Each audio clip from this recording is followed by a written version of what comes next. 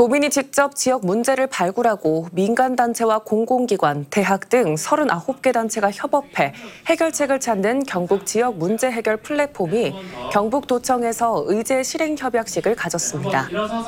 이들은 지난 2월부터 온 오프라인을 통해 접수된 200여 건의 의제 가운데 찾아가는 전문 의료 서비스 K의료버스와 청년 둥지도시 만들기 등 8개 사업을 실행 의제로 선정해 추진해 나가기로 했습니다. 경북 지역 문제 해결 플랫폼은 온라인 채널 경북온과 시군 설명회 등을 통해 실행 의제를 발굴하고 있고 경북도민 누구나 참여할 수 있습니다.